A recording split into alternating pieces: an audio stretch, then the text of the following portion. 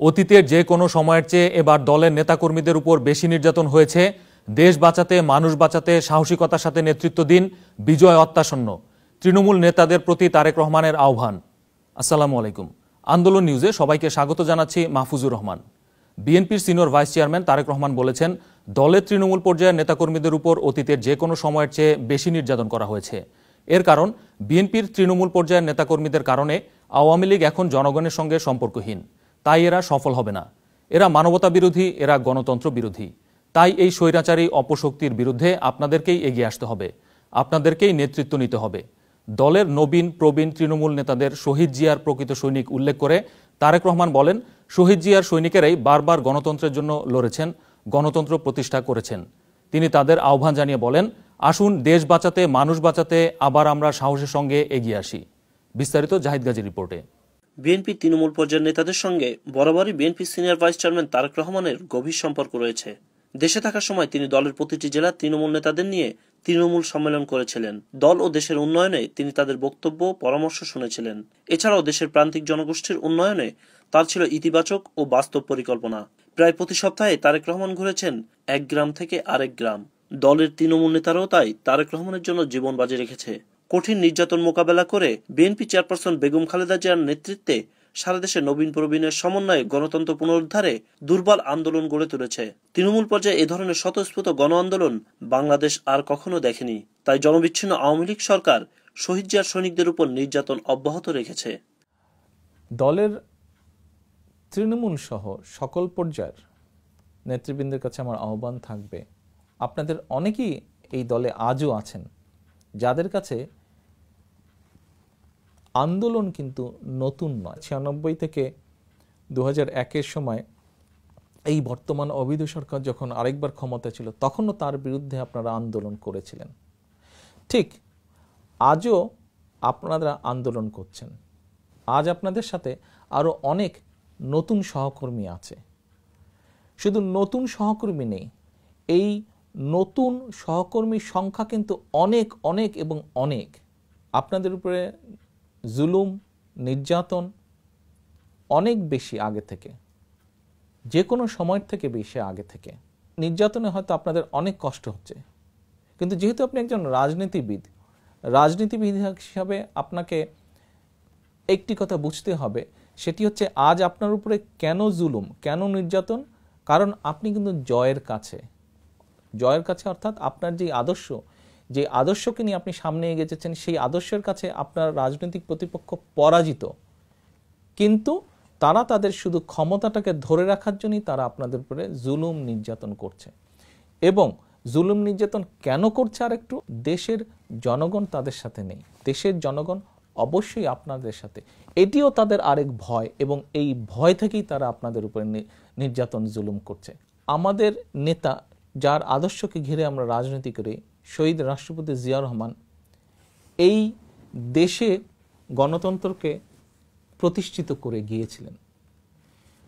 ইতিহাস প্রতিবার প্রমাণ করে যে শহীদ জিয়া যেভাবে গণতন্ত্রকে প্রতিষ্ঠিত করেছিলেন, শহীদ জিয়ার সৈনিক হিসাবে আপনারা প্রতিবার গণতন্ত্রের রক্ষার জন্য অবদান রেখেছেন, দেশের আইনের শাসন রক্ষার জন্য অবদান রেখেছেন দেশের উন্নয়নের জন্য আপনারা অবদান রেখেছেন।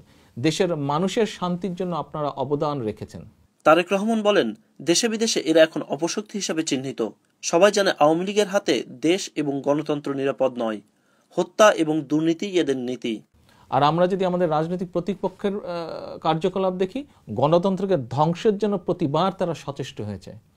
দুর্নীতিতে দেশকে ছেয়ে দেবার জন্য প্রতিবার তারা বিশ্বের কাছে পরিচিত হয়েছে।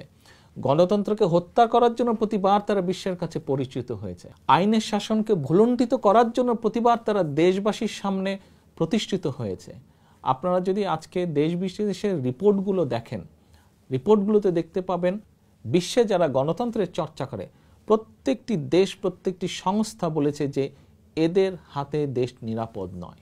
এটি তারা যেরকম বুঝে, এটি আজকে আমাদের দেশবাসী সকলেই বুঝছে।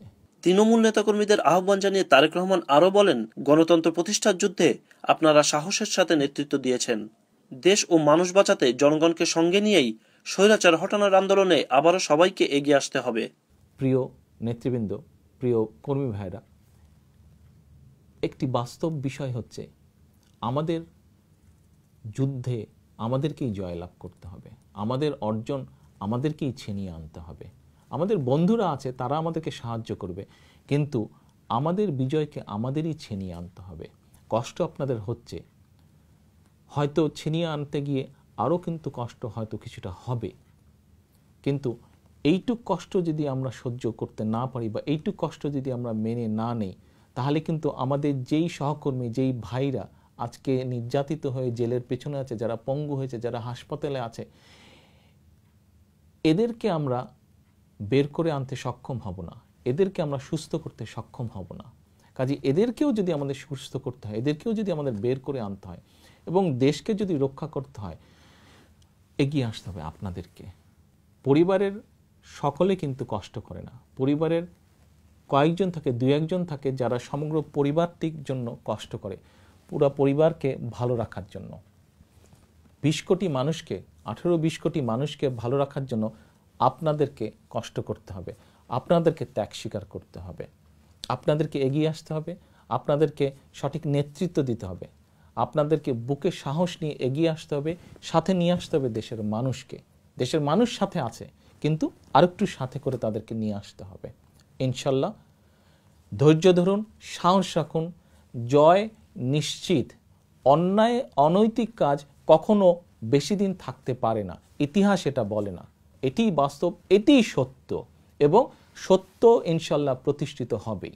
লন্ডনে চিকিৎসার জন্য থাকলেও দলের সর্বস্তরের নেতাকর্মীদের সঙ্গে নিয়মিতই যোগাযোগ রাখছেন তারেক রহমান।